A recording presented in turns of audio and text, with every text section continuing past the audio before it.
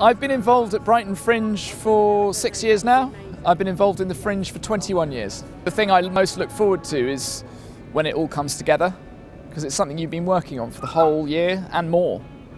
And to finally see something like this come together, it brings tears to your eyes. I think it's, it's such an awesome experience to be part of that, that process. At whatever stage you're in, to be able to be part of that is something that's incredibly special. The bad things, I suppose the, the disappointing things constantly are when, when shows get cancelled or, or artists can't turn up or the, the, the, disappointing human experiences that you might have um, with artists or customers or technical issues. That, that's always a, a, a annoying to happen. How do you see the Fringe this year compared to last year? Um, again, it's different. It's bigger than ever before. Um, that's not necessarily a point of reference, though.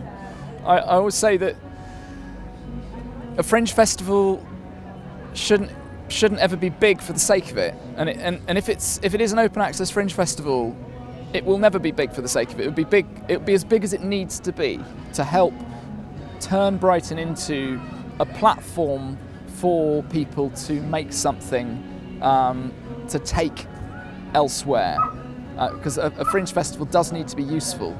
Um, otherwise, there's no point having it. Do you reckon uh, Brighton will become as big as uh, Edinburgh? No, I don't think so. Brighton Fringe is a is a unique has a unique relationship with Edinburgh in that regard. Um, that there's no other festival that has that many artists and companies and shows that go between the two festivals. They can show it in Brighton.